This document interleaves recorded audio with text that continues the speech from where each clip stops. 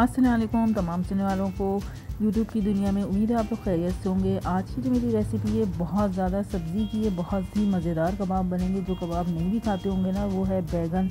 और बैगन जो नहीं खाते होंगे ना, वो भी ज़रूर खाएँगे। तो आपने ये भी सुनी होगी मिसाल, बैगन के मुतालिक थाली बैगन, वो तो हमारे इर्द होते हैं। चलिए रेसिपी बनाना शुरू करते बैगन को मैंने छोटे छोटे पीसीस में काट लिया, छिलका इनका उतार लें अब जो है मैंने टू टेबल स्पून ऑयल डालूँगी।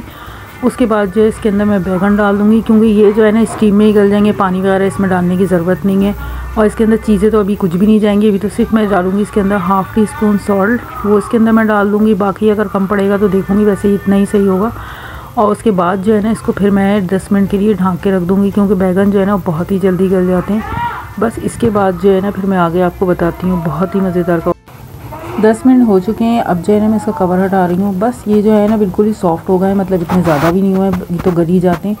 बस अब मैं इसको जो है ना निकालूँगी प्लेट के अंदर सारे बैगन को और फिर जो है ना इसको ठंडा करना है। मैंने बैगन जो थे उनको ठंडा कर लिया, आधा किलो बैगन है और मैंने प्याज जो ली थी वो दो मीडियम साइज़ दी थी, उसको चॉप कर ली थी, अनारदाना है, पिसी मिर्च है और इसके अंदर साबुत धनिया है, गरम मसाला है, ये सारी चीज़ें हैं। इसके अंदर जो मसाले जाएँगे इतने ज़्यादा नहीं, बस यही जाएँगे और इसके अंदर बाद में लिए जिंजर गार्लिक पेस्ट तो नहीं चॉप किया हुआ एक एक चमचा हरी मिर्च, दो टमाटर है, उसको भी बिल्कुल जो है ना बीच का निकाल के किनारे काट लिए थे। और ये मैंने तीन चार ना डबल रोटी के पीस लिए, इसको मैंने चॉप कर दिया था। अब मैं इसके अंदर बैगन डालूँगी, इसके अंदर प्याज वगैरह डालूँगी। बस इसके अंदर सारी चीज़ें जाएँगी। सारे मसाले भी मैंने इसके अंदर डाल दिए। इसके बाद जो है ना, इसके अंदर अनारदाना, अनारदाने से इसका जायका बहुत ही अच्छा आएगा। मतलब आप इसको बनाएँगे ना, लगेगा नहीं। बेसन जो है, इसके तो टू टेबल स्पून जाएगा ज़्यादा नहीं जाएगा बस सारी ये चीज़ें, हरा मसाला जितना भी ना डाल दें, जो जो कबाब में पड़ता है, बिल्कुल, इसके इतने मज़ेदार चपली कबाब बनेंगे ना तो आप खाएँगे तो बहुत ही, बस ब्रेड क्रम्स इसके अंदर नहीं डालने, मैंने डबल रोटी फ्रेश ली, उसको ब्लेंडर में पीस लिया, उसको डाल दें तो इसकी बाइंडिंग अच्छी होगी, और बस इसके फिर मैं कबाब बनाऊँगी, बहुत ही मज़ेदार बनेंगे मतलब लगेंगे ही नहीं कि ये बैगन के कबाब हैं, आप किसी को भी खिला देना लगेगा बिल्कुल गोश्त के, और जायके में भी इतने मज़ेदार चपली कबाब है ना बहुत ही अच्छे बनेंगे और यूनिक स्टाइल में। तो बस इसको इस तरह से बनाना है। बस थोड़ा सा इसका बैटर गीला होगा मतलब बन जाएँगे फिर भी ना। इतना ज़्यादा नहीं होगा। बस इस तरह से मैंने मिक्स कर लिया। अब जो है मैं इसको इसके कबाब बनाऊँगी। तो कबाब कितना, वो भी बहुत ईजी है। हाथ पे थोड़ा सा ऑयल लगाएँ और इसके जो है ना गोल गोल टिक्की बना के सारी रखते जाएँ। बहुत ईजीली बन जाती हैं। इसको कोई अंडा लगा के फ्राई नहीं करना होगा। मैं बिल्कुल ऐसे टेस ही करूँगी।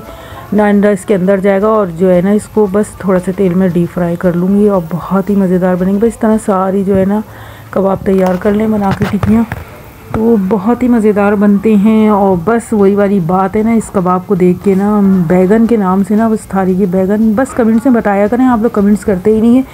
कमेंट्स में बताया करें, जो भी मैं सवाल पूछ रही थी, बस ये जो है, सारे देखें बन के तैयार हो गए अब जो मैंने ऑयल लिया, उसके अंदर कबाब डाल दिए। बहुत इजीली बन जाएँगे, इतने मज़ेदार बनेंगे ना कि बस, मुझे तो वेजिटेबल इतनी पसंद है ना तो बस आगे मैं अपनी नई नई रेसिपीज़ लेकर आऊँगी। मुख्तलिफ़ होती हैं हटके होंगी बिल्कुल। बस अब इसको जो है ना, पाँच मिनट एक तरफ़ करें और पाँच मिनट, क्योंकि बैगन तो जो है बिल्कुल कुक हुआ से इसको कलर देना है। देखिए कितना मज़ेदार इसको यम्मी कलर और खुशबू इसमें इतनी अच्छी आ रही है ना, मज़ेदार। आप रायते के साथ खाएँ कैचअप के साथ खाएँ, चटनी के साथ खाएँ। तो बस इसको मैंने फ्राई करने पलट दिया और उसके बाद जो है ना, मैं इसको निकालूँगी बस। बस कबाब जो थे, चपली, बैगन के फ्राई हो चुके हैं। कितने मज़ेदार, क्रिस्पी हैं ना। मतलब मैंने तो इसको खा के भी देखा। खैर, अभी मैं आपको तोड़ के भी दिखाती हूँ अंदर से। इतने मज़ेदार देखें, आपको लगे ही लगेगा गोश्त के कबाब ये देखें, आप किसी को भी खिला देंगे ना, बोलेंगे गोश्त के। जायके में भी इतने मज़ेदार हैं ना, बहुत ही अच्छे हैं। तो बस मेरी वीडियो कैसी लगती है, ज़रूर बताया करें। और आजकल तो सब्ज़ियाँ इतनी फ्रेश आएँगी ना, बैगन वगैरह, हर चीज़ बहुत अच्छी आई। हुई और बैगन तो वैसे ही बहुत फ़ायदेमंद है। गोश्त की जगह काम करता, बहुत ही मज़ेदार है। तो बस मेरी वीडियो कैसी लगती है कमेंट सब्सक्राइब लाइक ज़रूर कर दिया करें। बाकी मैं मिलती हूँ अपनी नेक्स्ट वीडियो में। अल्लाह हाफिज़। अरे वाह!